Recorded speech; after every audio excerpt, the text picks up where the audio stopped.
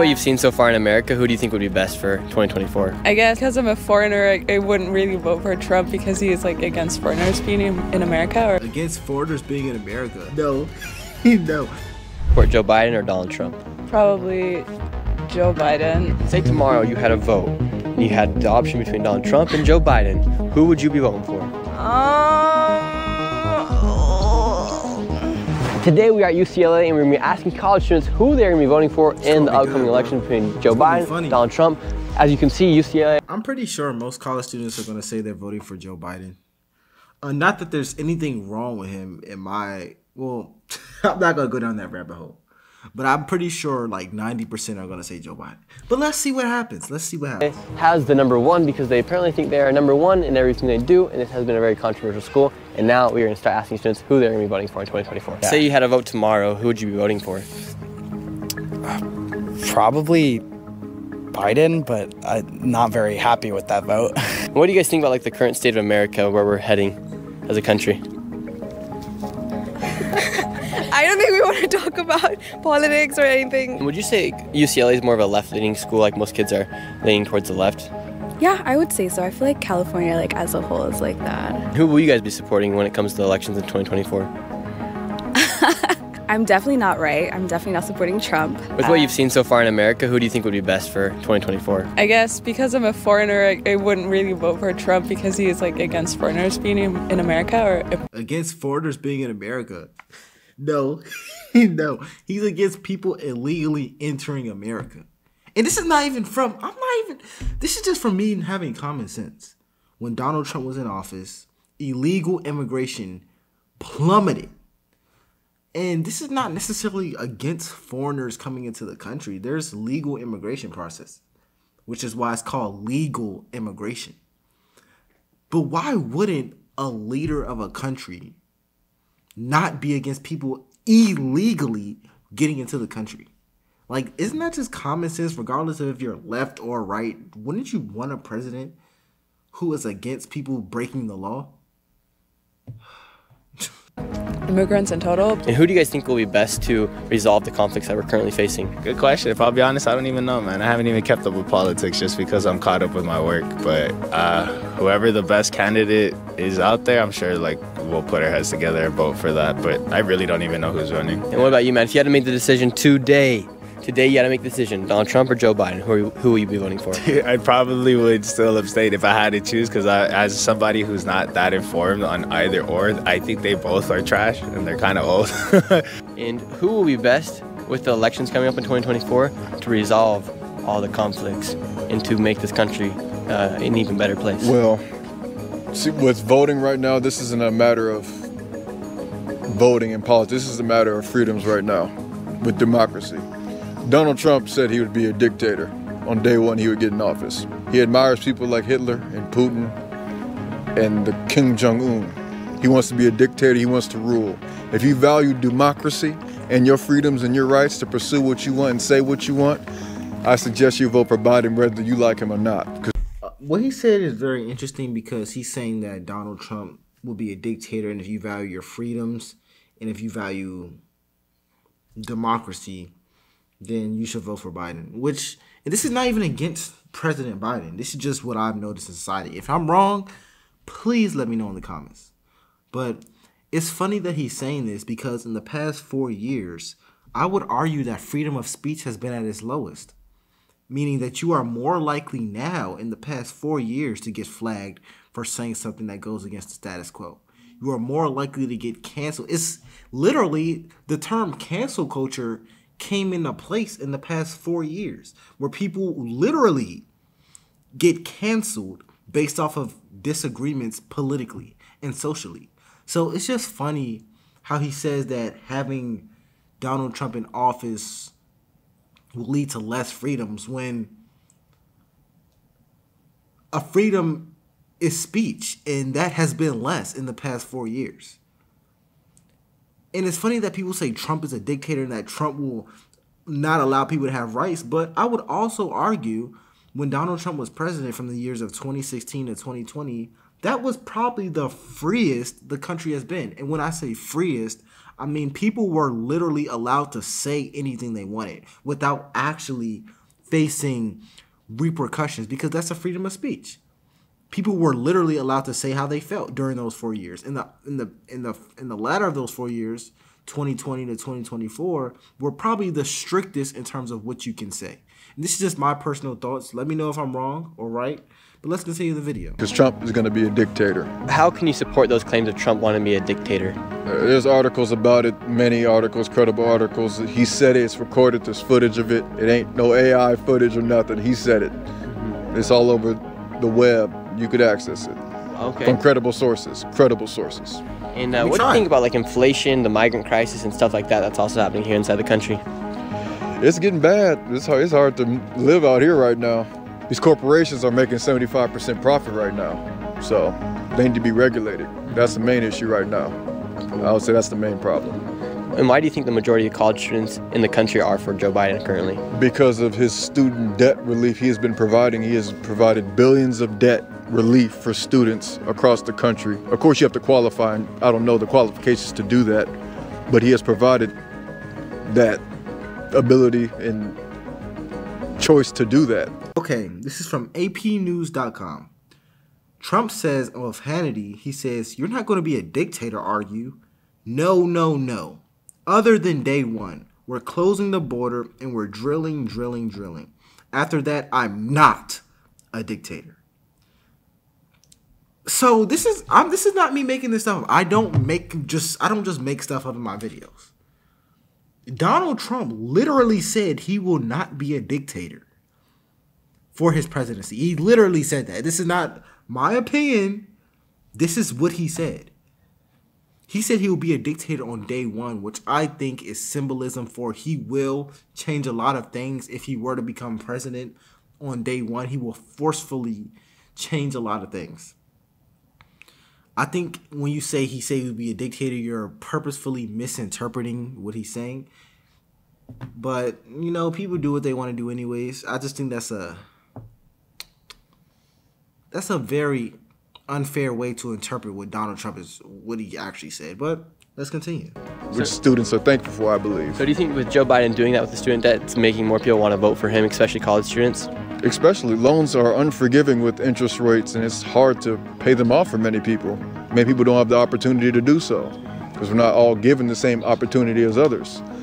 And Biden is given the opportunity to relieve that debt, which I admire. And do you think uh, that is like one way that Joe Biden will be able to gain more votes from college students, obviously with that debt relief? Oh, man, definitely. I- irrefutably. I talked to some people here and they said that they'll be voting for Joe Biden because of this. He said he's not given the same opportunity, but you I never understood that because when it comes to debt for a student, you literally understand what you're getting into when you're 18. And I get it, you're young. I'm I'm young. Look at me. I'm in college still. but the thing is, when it comes to debt, you know what you're getting into. The thing is, a lot of students just don't care. They want to go where they want to go. You wanted to go to UCLA. You didn't care that it cost $50,000 a year. You didn't care how much your job paid after you graduated. You wanted to go to UCLA. And I'm not judging you for it. That's what you wanted to do. You wanted the beautiful California weather, the big campus with 100,000 people on it. That's what you wanted. You didn't care about the price tag when you signed those papers. You're still there, so you still don't care. But trying to say you don't get the same opportunity is just a lie. That's just a flat out lie that you tell yourself to make yourself feel better for making a poor financial decision. You could have went somewhere way cheaper. There are thousands of colleges in America. You're telling me you were forced to go to one of the literal most expensive colleges in the country. Somebody forced you to do that. The student loan uh, Forgiveness. d- forgiveness that he's going to be offering. Do you think that's a way that he's going to be able to win votes from the college students? I think so. Yeah. What do you think about the current state of America? The current state of America. like in general, um, I think there's definitely things that we can work on for sure, always. Um, do I think it's the best country to live in at the moment? Probably not. We're going to be having elections in I wonder what would be a better country in European. And this is a real question. 2024, and this is like a big year where a lot of people like you and other college students' voices are really made heard. And who do you think would be best to run the country uh, in this upcoming year? I don't think either of them are great candidates. I won't lie. Yeah. Um, but sometimes you just gotta pick the lesser of the evils. hmm We hear a lot of the lesser of the two evils. And what makes both candidates, uh, per se, like, evil? Um, I just think there's just they don't represent the majority of the population. I think it like boils down to that. Okay. Yeah. And say tomorrow you had a vote and you had the option between Donald Trump and Joe Biden. Who would you be voting for? Um.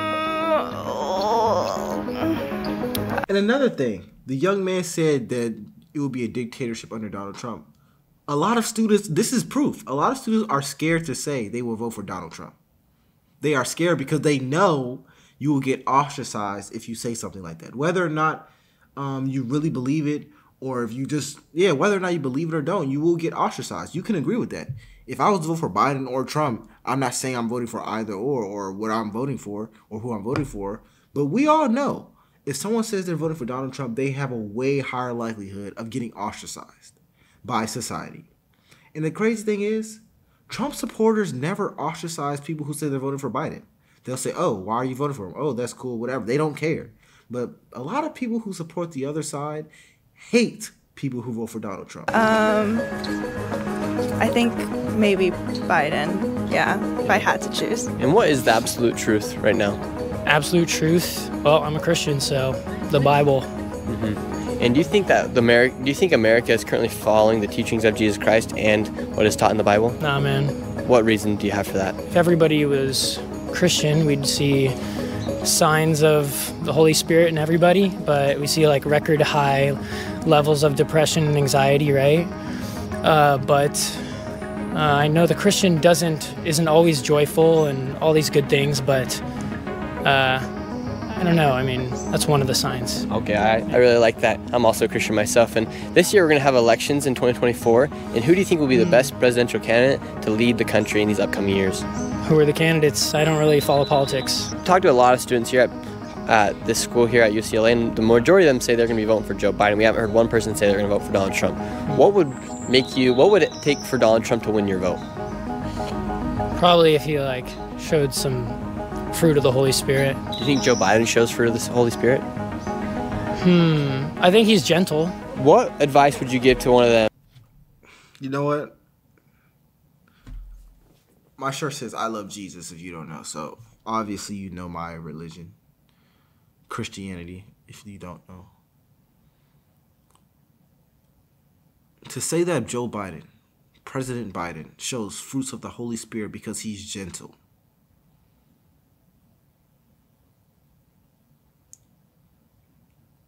But then also state that the country that he's leading right now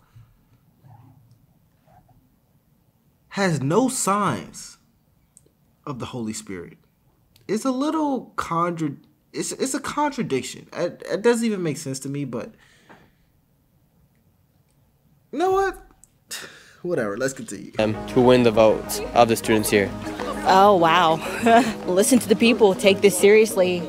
These generations are not taking kindly to things like what's happening in Gaza, and they're very serious about making their voices heard. So if you want to seriously be the candidate, take it seriously. Listen to the people. Pay attention to what's happening here. And uh, who will you be voting for in 2024? Um, honestly, I'm undecided. I'm not sure yet. I probably Joe Biden because I just I can't support Trump. But yeah, it's definitely a lesser of two evil kind of situations if I'm honest. But yeah. Okay, we've heard a lot of that claim, the lesser of two evils. and uh, what would make each candidate evil? Um, well, Trump, I think the reasons are pretty obvious. He's there's a lot of hatred that's coming back to the surface, and I think he kind of what's the word I'm looking for? He thrives in that space. She doesn't know. And let's be honest, most people don't know why they don't support Donald Trump. This is not saying that you should blindly support Donald Trump. Hear what I'm saying. Majority of people do not know why they don't support Donald Trump. They just know that they're supposed to not support him. When people hear this, they're gonna say, "Oh, you support." No, I'm saying if you want to support a president or you think someone is evil, that's a strong claim. He's evil. If someone is evil, you should be able to objectively say why they're evil, or even if it's your opinion, give a reason why you think someone is evil. if you hate something, I can tell you why I would hate something. It, it's in the back of my. I, I would know instantly. I could be like, oh, yeah, I hate this because of this, this, and this. When it comes to Trump, they make very harsh claims about him. They say he's evil. They say he's wrong. They say this. They say that. But why? Why? People know why they. Well, people don't know why they like Biden. They just know that they want to vote for him. So that's not a good. That's not even a good claim. But all I'm saying is, a political candidate is not your family member. It's not a sports team. This is something that matters and that will determine the fate of a country. So you shouldn't blindly follow anyone. I don't care if they're leftist, right. I don't care. Know who why you're voting for someone. Please be be educated about this. And kind of almost encourages it. And Biden, I just, I don't know. I just, I, I don't know if he's necessarily evil. He just hasn't done enough. He's just not effective enough from what I've seen. Okay. And so do you think we'd be safer underneath Donald Trump or Joe Biden with what's going on with like the wars and all that stuff?